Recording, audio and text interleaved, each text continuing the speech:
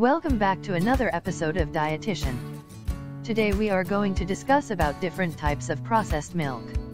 Raw milk is processed into the following types of milk. Number 1. Skim milk. Skim milk is whole milk from which fat has been removed by a cream separator.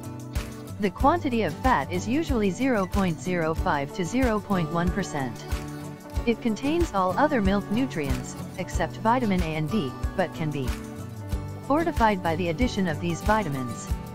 Number 2. Toned milk. Toned milk is prepared by using milk reconstituted from skim milk powder.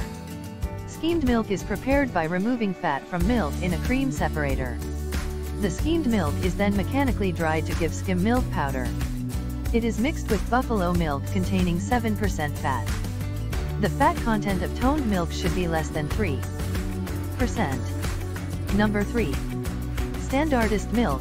In standardized milk the fat content is maintained at 4.5% and soluble non-fat is 8.5%. It is prepared from a mixture of buffalo milk and skim milk. Number 4. Homogenized milk. Homogenization is a mechanical process that reduces the size of fat globules by forcing milk through small apertures under pressure and velocity. When milk is homogenized, the average size of the globule will be 2 micrometers.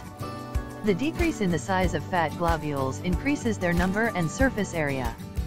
The newly formed fat droplets brings about stabilization of the milk emulsion and thus prevents rising of the cream. Homogenized milk has a creamier texture, bland flavor, and whiter appearance. Number 5. Evaporated milk, it is made by evaporating more than half the water from milk under vacuum, at a temperature of 74 degrees Celsius, 77 degrees Celsius.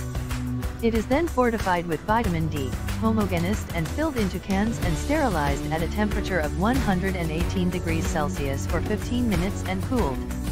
The treatment employed lends a brown color and characteristic flavor owing to the reaction between sugar and protein.